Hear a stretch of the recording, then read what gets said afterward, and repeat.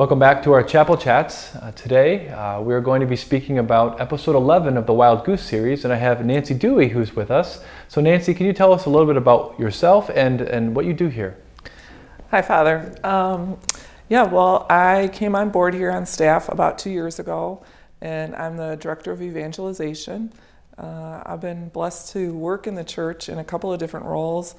Um, over the years, I started initially as a youth minister, and mm-hmm. I absolutely love that. And then um, as a director of evangelization and also a director of faith formation, and then now here as a director of evangelization. So I'm really excited to be here, and it's been a good two years, and looking forward to the next year. That's right. Well, I know that you're a big fan of the Wild Goose series. I and am. You've run yes. this in your previous parish, and so Correct. today's episode that we're going to just briefly talk about is on the Spirit's conviction. The Spirit convicts right? And it's not so much a conviction in terms of, of, of wanting to do something, it's about conviction of sin. Mm-hmm. So, what were maybe, what's the main thing that kind of stuck out for you in this episode? Well, I would just say, as I watched the episode, I, I just felt the truth of it in my own life mm. and how, um, as I progressed in my relationship with Jesus, how the Holy Spirit just kind of came up and started nudging and just kind of showing me areas um, in my own life that I needed to confess. And I really love, I'm, I'm, a big fan of Father Dave Pivonka to begin with. And so when he really talked about it being a relationship, um, I think that that's the most important thing. Like, as your relationship in that personal way grows with Jesus and you understand how you've offended him in any way, um, it just kind of lays heavy on your heart um, to know that you are loved so much by Jesus mm-hmm. and that you've offended him. Um, just can really add to a heaviness in your heart, and you don't want to have that. Um, you want to be free of that. So that's what um, I've known and, and seen in my own life, and that's why I'm so grateful, you know, for as they speak about the sacrament of confession. Yeah, and it, it's amazing the the distinction that Father David makes is so important for the Christian life because it's amazing to see sin in terms of, or it's helpful to see sin in terms of a relationship rather than just simply breaking a law, mm-hmm. right? And for so many Christians, they see sin as just simply this impersonal. I, I broke this rule, I broke this law, and while there there could be a technic, they could be technically right, they sinned they're kind of missing the point. Mm-hmm. I mean, mm-hmm. one of the things that really strikes me about the sacrament of reconciliation is that it's called, since the Second Vatican Council, you know, penance, confession, but the technical term is the sacrament of reconciliation, being mm-hmm. reconciled back to God. And there's a personal relational quality to that.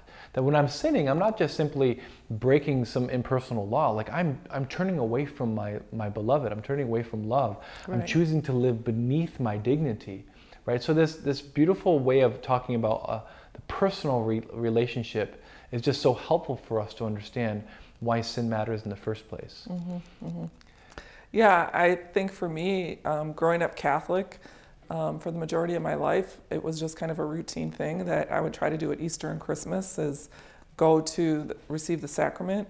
But once I had that shift in my heart and I knew Jesus personally, like the thought of offending him or actually understanding when I did offend him or realizing that I did offend him, um, man, I just wanted to run to the sacrament because I don't want to be in that state of grace. One of the biggest distinctions he makes, and it's a, it's a distinction that I make all the time, is the difference between the Spirit's conviction of sin versus an accusation or condemnation of sin. And I will sometimes will pray this very thing with penitents. And if they, they don't know what their sin is, we just ask the Holy Spirit to come and convict us mm-hmm. uh, of our sin and, and recognize the difference between what the Spirit's conviction feels like and the Spirit's, or I'm sorry, the enemy and mm-hmm. the, the, the, devil, his, his condemnation and accusation. Right. Uh, and, and I think that's one of the most important things to remember because even very devout people will feel this, con- this sharp condemnation and accusation and they'll think it's holy uh, and in reality, it's often the enemy wanting to discourage us. Yes. You know, so what do you think about that in people's lives in terms of trying to live a Christian life and feeling this condemnation, this accusation, and, uh, and people thinking it to be the conviction of the Spirit? Yeah, I, I think the enemy's really good at convicting us that we're sinners, that we're bad people, that there's shame associated with it. Um, even after we've gone to confession and we've confessed mm-hmm. the sins, he likes to come back and yep. still go in there and attack you and make you feel unworthy. Mm. And um, for me, I remember a real powerful time where I happened to be on a pilgrimage, and I went to this very holy spot, and it was the first time I'd ever been on a pilgrimage in my life. So the whole time I was going feeling unworthy, that I was a sinner. Like, who am I to come to this holy spot?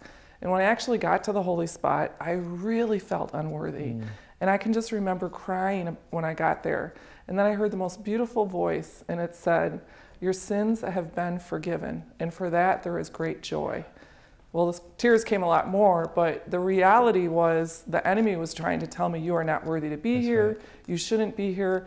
But, you know, the Holy Spirit really is yeah. the one that convicted me. Your sins are forgiven. Yeah. It, there's so much joy. You belong here. Yeah.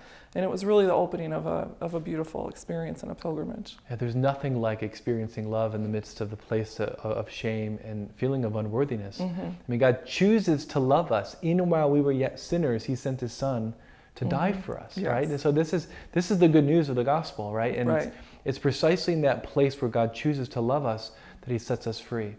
And one of the things that I find challenging as a priest is is trying to talk about the good news of God's saving love and His mercy to sometimes people who aren't all that aware of their sin, right? Because the last thing that I want to do is to condemn and to accuse people. And yet, as Father Pivonka was saying, he said it's a good thing that people know what their sin is. I mean, it's actually a very healthy thing. The, the Holy Spirit wants to reveal sin because without the revelation of sin, it's almost like you, you can't really appreciate the solution to sin. It's like someone going to a doctor and the doctor is saying, I don't really want to tell you that you're not you're not healthy. Mm-hmm. I don't want to tell you what your sickness is because I'm afraid you might get upset at me. Well, if a doctor is not willing to help diagnose uh, someone or tell them what the sin is, then the doctor is really not a good doctor mm-hmm. because the person can die from it. And as, as Father Pivonka says, as Scripture says, if we don't let go of our sin, we don't repent of our sin, we will die in our sin. And sin is the rejection of love. Mm-hmm. And that's the definition of hell, yeah. right? So as a preacher, it's very difficult for me. Like I want to show people that you know God has come to save us from sin, but I also uh, I, so but I don't want to tell people about their sin all the time because that's very discouraging. But the fact is is that when sin is revealed to us in our life and we know who God is, then that's actually a good thing. Mm-hmm. right? It's it, it's like, oh, Jesus, come and save me from this. Right. But right. sometimes people experience someone pointing out their sin as a very unpleasant experience, right? I'm the same way. I don't want I don't want people telling me where my sin is. Mm-hmm. But deep down, I really do, because if I don't know my sin, uh, then I'm gonna I'm not gonna repent from it, and I'm gonna be blind to it, and I'll end up hurting people that I love. Uh, and that's really what the blindness of sin is. And so, uh, one of the things I just, I hope and I hope and I hope and I pray that all of us can be okay when God reveals our sin to us. Because that's actually a merciful thing. He's revealing to us maybe a, a malignant tumor that, we, that we've had in our life. He's like, don't worry if I'm revealing it to you because I have the cure. Mm-hmm. I have my grace, my mercy can, can root that out. Don't be afraid of the diagnosis because what I've offered to you is healing of everything yeah. in your life. Yeah. You know, I have a story. Um, I'm full of stories, so. But I just remember one recently, um, someone that had been away from the church for 30 years, and I had spoke to them on numerous occasions, and this person literally said, "I just know I'm going to hell. Mm. I know that mm. my sins are not going to be forgiven." Well, a major crisis happened, and I invited him to come to a holy hour of adoration where there was confession there. And he was in a a place where he was open. And I said, why didn't you just get in that confession line? And thank goodness, you know, the priest really spent time with him and he was in there for quite a while. But the fact is, he came out so full of joy, yeah. so full of freedom. And this was someone who truly believed there was not forgiveness for him. Yeah. So uh, his experience it's, it's of that amazing. day was just so amazing. Yeah. Yeah, I find that when people don't know, when they don't really believe that Jesus is that merciful, Mm-hmm. They spend much of their life running away from Him. Mm-hmm. Uh, and, and when people get close to Him, they become aware of their sin. It's like getting into the light. The closer we get to the light, the bright light, the more we see how dirty we are, right? There, there's a natural part of becoming aware of how heavy our sins are. But when we understand what the light is there for, mm-hmm. what Jesus' love is there for, he, He's there to resolve that. Yeah. We no longer have to run. And so many people are running today because they don't know who He is. Mm-hmm. They've written off that God is merciful because of some lie that the enemy has placed in their heart that, that God really doesn't love them, that God really isn't there for them, that He's it's you know, that, that there's, there's no hope. Right. And yet, it's our task as Christians to proclaim the incredible love of God, that He is love, He is mercy, and that in Him is the fullness of redemption. Uh, and so I hope that people who watch this, this episode of The Wild Goose had this just greater conviction that God is here to save us from sin, and that it's, it's okay to know your sin because it's actually precisely in that that God meets us in His love. Yeah, I think the other aspect that I really love about the Holy Spirit is He's also the consoler, right? Mm. So um, it may be difficult to face the fact that you've sinned or have cre- you know really had some bad choices in your past.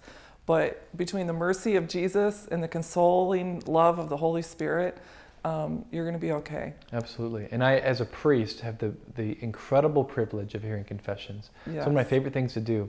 I've never ever met someone who'd been to confession and say, you know what, I, I wish I wouldn't have done that. Mm-hmm. I wish I wouldn't have given all my sin. I wish I would not. No one says that. No. But I have had many people say, I wish it would have come earlier. I've been carrying this weight and this burden and this condemnation and this shame upon myself. And I wish it would have come earlier because in the confessional as a priest, I get to see Jesus come and lift all of that off of their shoulders. Yeah. And, uh, and what a yeah, gift. I call it the um, confession smile. Like yeah. you can see people walk out of the confessional and there's just joy. You know, there definitely is a change that went on yeah. in that confessional. A supernatural change went Absolutely. on in that confessional. No. It's really um, a, a, great gift that we have. And the Holy Spirit grants it to us in the church. Yeah. Well, thank you, Nancy, for being with us today. We're going to say a final prayer. Do you want to say a final prayer for us? Sure. Sure.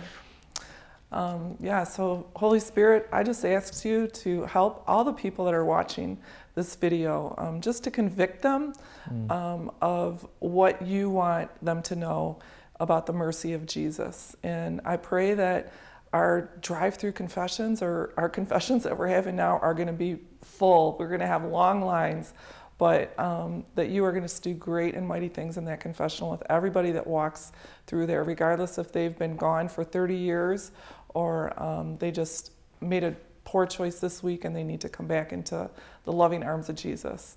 Um, so, Holy Spirit, just come with your joy and your beauty and your love upon all those who are watching this video, and um, may they just come into the loving arms of Jesus. We ask this all in the powerful name of Jesus. Amen. Amen. Father, Son, Holy Spirit. Amen.